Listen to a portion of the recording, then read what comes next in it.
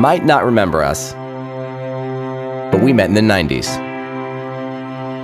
We are members of Generation Y, as in yin yang, yo yo. Life moved a little slower. Discs were square, desktop folders had personality. Extra storage space was just a zipper away. There was only one social network, but most of your friends died of dysentery. The only thing buzzing in your pocket was a pet. Until that died too. But at least a troll was still a friend. Lunch was a puzzle, not a picture. You were pumping jams, water, shoes. You didn't have to worry about a news feed full of farm animals.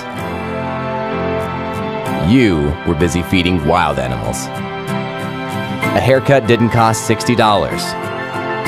It cost four minutes. You really had nothing to lose. Unless, of course, you were playing for keeps.